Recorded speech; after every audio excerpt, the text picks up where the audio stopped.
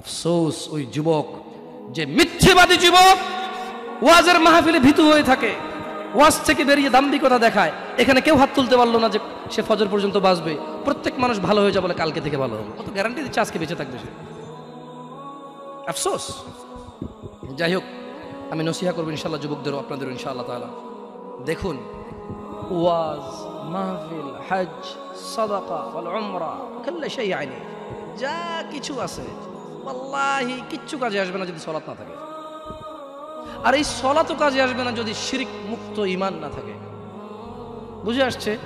শিরিক নিয়ে বললে এখন কয়েকজন উঠে হয়তো মাইরু শুরু করতে পারবে। কারণ শিরিকের বহু ব্যাখ্যা আছে এখানে। শিরকের কি আছে? বহু ব্যাখ্যা আছে। যেমন এখানে আবার ইসলামের, আমি একটু ভিন্ন দিকে যাচ্ছি। মনে কষ্ট নেবেন নাকি আপনারা? দেন যুবক মানুষ দু চারটা খাইলে ইনশাল্লাহ আশা করি সহ্য করতে পারব। তাই শোনেন, মাথায় মুথায় মারেন না, পরে মরে গেলে মার্ডার কেসের আসামি হবেন। শেখ হাসিনা সরকার। যেমনি ঝুলাইতে আছে, আল্লাহ আল্লাহ।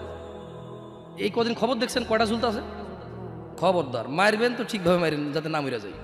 শোনেন, বলি আপনাকে। আপনি এমন অনেক কাজ করেন, তারপরে যখন আপনাকে বলা হয় যে তুমি এটা কেন করছ, আপনি বলছেন যে এটা রসুল্লাহর শানে, এটা আল্লাহর শানে, এটা মুরব্বীর শানে, এটা ধর্মের খাতিরে, এটা দিনের খাতিরে, এটা এটা এটা সমাজের খাতিরে।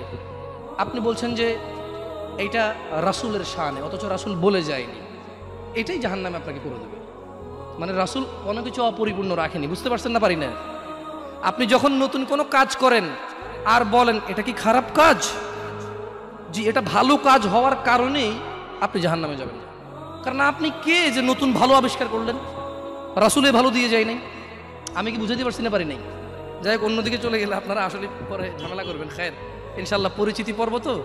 টুকটাক কথা বলে যাব আল্লাহ যদি বাঁচায় রাখে এলাকার ছেলে আমি খায়ের ইনশাল্লাহ ডাকবেন আসবো অন্য সময় বলে যাবো আপনাদেরকে এই কথা নিয়ে শুনুন তো তারা বলতো যে لقد أعدنا نحن وآباؤنا هذا من قبل إن هذا إلا أساطير الأولين আমাদেরকে তো এই বিষয়ে প্রতিশ্রুতি প্রদান করা হয়েছে এবং অতীতে আমাদের পূর্বপুরুষদেরকেও এই প্রতিশ্রুতি করা হয়েছে এটা তো পূর্ববর্তী লোকদের উপকথা ছাড়া আর কিছুই না।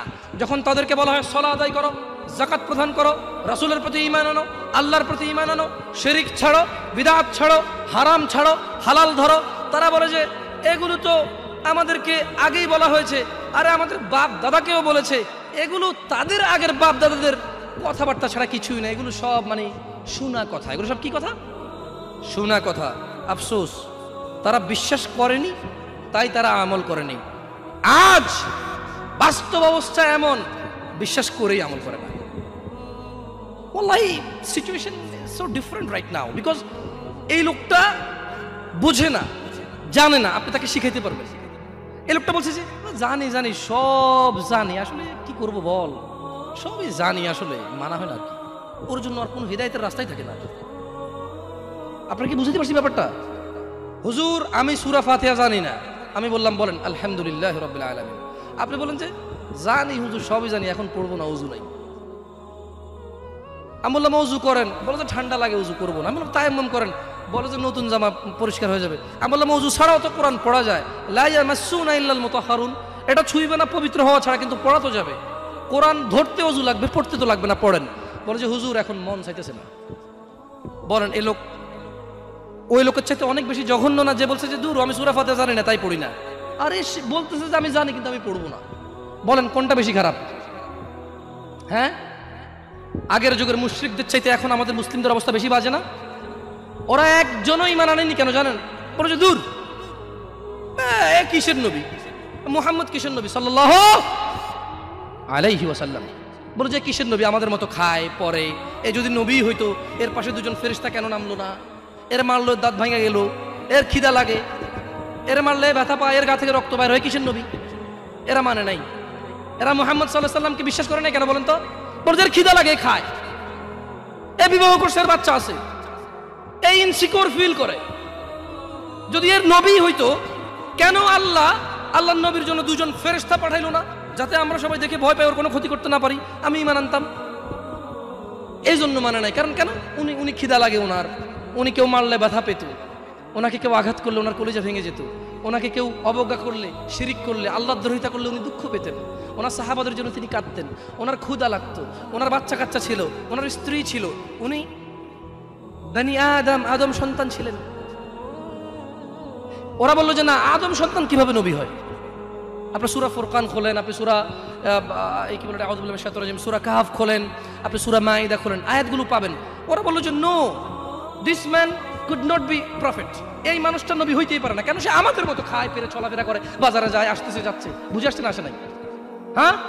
এই ওরা মানে নাই। কিন্তু আফসোস, আজকে আমি আর আপনি বলছি যে আমরা রাসূলকে মানি। উনি চায় খাক, না খাক, ব্যথা পাক, না পাক ফেরেস্তা আসুক, না আসুক। যেহেতু আল্লাহ তাআলা ওনার স্বীকৃতি কোরআনে দিয়েছেন, তিনি মোহাম্মদ, তিনি আমাদের রাসূল, তিনি আমাদের কদোয়া, তিনি আমাদের অনুসরণীয়। তিনি আমা- আমাদের আমাদের আইডল তিনি আমাদের মাননীয়, তিনি আমাদের পূজনীয়। উনি যাই হোক, আল্লাহ ওনাকে চয়েস করেছে। আল্লাহ আমাদেরকে আদেশ দিয়েছে মানতে। আমরা আল্লাহর বান্দা, আল্লাহর সৃষ্টি, তাই আমরা ওনাকে মানি। এই কথা বলার পরে ওনার কোনো আমালের প্রতি আমাদের কোনো ভ্রুক্ষেপ নাই। বাস্তবতা কি এমনটা নয়? ওয়াল্লাহি, দেখুন, আমি এখানে ওয়াজ করতে এসে আপনাদের মন জুড়াইতে আসি নাই।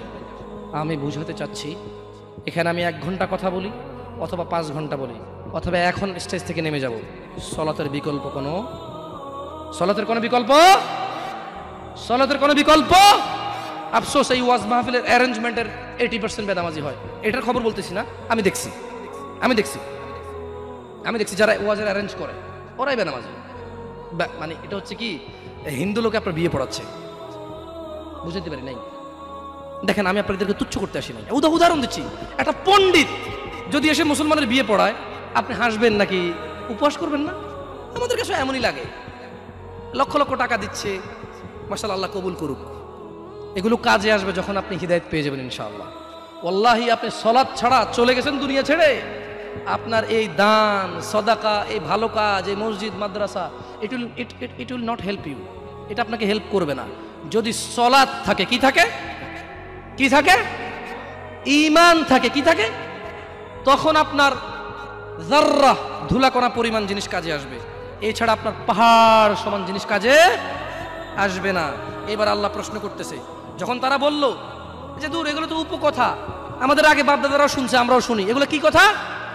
এবার আল্লাহ বলছে যে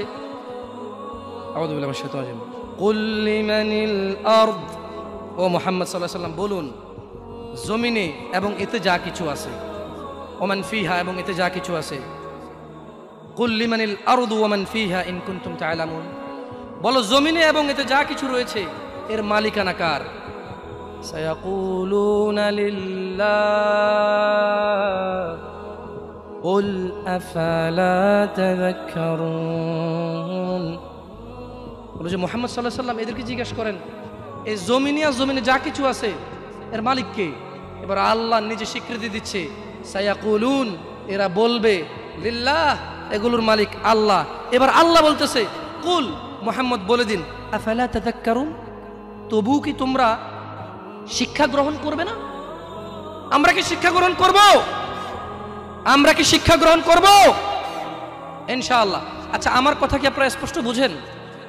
আসলে কি করবেন বলেন? সারা জীবন তো আমাদের এভাবেই যাচ্ছে কিস্সা কাহিনী শুনে, গজল শুনে, নাচ শুনে মাহফিল চলে যায়, অথবা বক্তারাও এসে টেনে টেনে সুরে সুরে কথা বলে। কিছু বুঝিয়ে না বুঝিয়ে অনেক ভালো লাগে। আমি তো বাংলা একদম ডাইরেক্ট কথা বলতেছি তো। আপনারা ক্ষমা করে দিবেন। আমার কেন জানি মনে হয় যে এভাবে কথাই আপনাদের বেশি কাজে আসবে, ইনশা আল্লাহ।